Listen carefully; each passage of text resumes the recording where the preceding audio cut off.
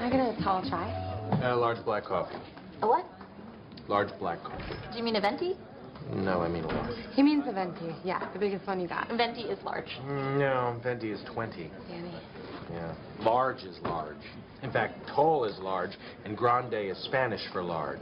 Venti's the only one that doesn't mean large. It's also the only one that's Italian. Congratulations, you're stupid in three languages. Look, Dick, venti is a large coffee. Really? Says who? Fellini? How much is that? Here's the 10. Do you uh, accept lira, or is it all You know euros what? Just now? keep the change. Jesus, Dan, you know what they call sizes here. You know what? You've been picking fights with everybody. The girl at the party. She said ASAP.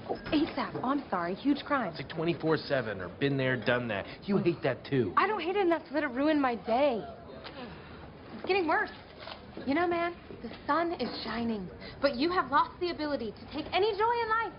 I, I can't stand it anymore. You're just a miserable dick now. You're mean to everybody. And FYI, it's called a venti because it's 20 ounces. 20. Venti.